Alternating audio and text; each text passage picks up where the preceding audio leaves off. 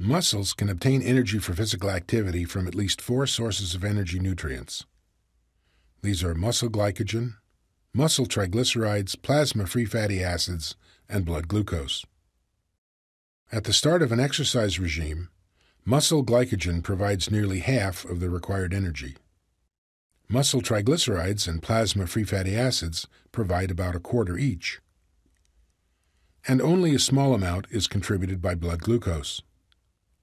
One hour into the activity, the proportion of energy nutrients utilized has changed. Muscle glycogen is down, as are muscle triglycerides. Now, blood glucose and plasma free fatty acids are providing more of the energy needed. By hour two, the trends are magnified. Muscle glycogen and triglycerides are being consumed faster than they can be replaced.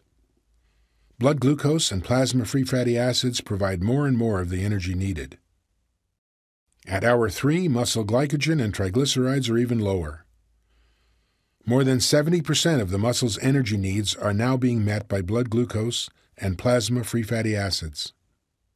After 4 hours, muscle glycogen is fully depleted.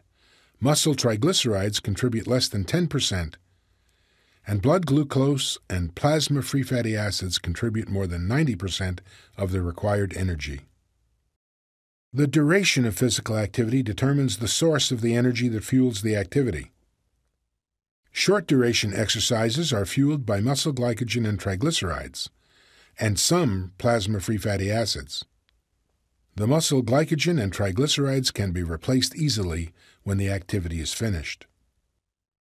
As exercise duration increases, muscles depend more on blood glucose and plasma free fatty acids for energy.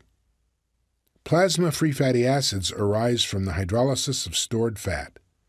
For this reason, most successful weight loss programs include an exercise component.